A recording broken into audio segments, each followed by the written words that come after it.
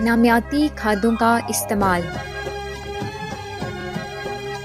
हमारी पाकिस्तान की अक्सर ज़मीनें नामियाती मादे की इंतहाई कमी का शिकार हैं, जिसके बायस फ़सल की पैदावारी सलाहियत बहुत मुतासर होती है। इसीलिए ज़रूरी है कि देसी या सब्ज़ खाद यानी नामियाती खाद का इस्तेमाल किया जाए।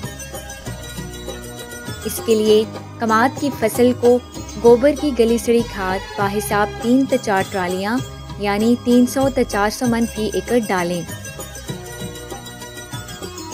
और इसके अलावा सब्ज खाद, यानी गवारा, जंतर, बरसीम, या सेंजी वगैरह काश्त करें और पहला फूल आने पर इनको ज़मीन में दबा दें। इसके तकरीबन 30 से पैंतीस दिन बाद ज़मीन की तैयारी का अमल शुरू करें ताकि खाद ज़मीन के अंदर अच्छी तरह गल सड़ जाए। प्रेस मड को भी बतौर खाद इस्तेमाल किया जा सकता है। प्रेस मड गोबर की खाद का एक बेहतरीन मुतबादिल है। प्रेस मड बाहिसाब तीन से चार ट्राली फ़ी एकड़ फ़सल की काश्त से एक माह पहले इस्तेमाल करें।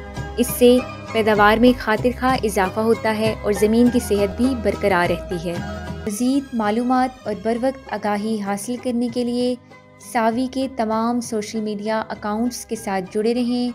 और सावी की ऐप को प्ले स्टोर से डाउनलोड करके फ़ायदा उठाएँ। शुक्रिया।